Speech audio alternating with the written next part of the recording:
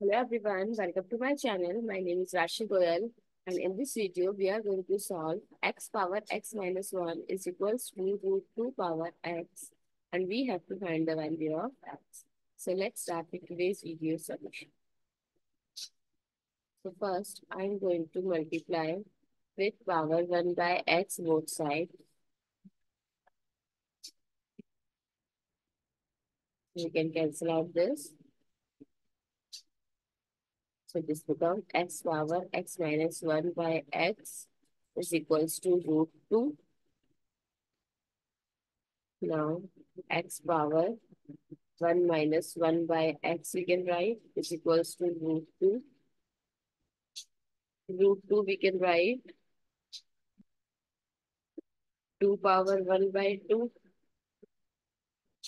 x power 1 minus 1 by x is equals to 2 power 1 by 2 we can write it as 1 minus 1 by 2 now on comparing both sides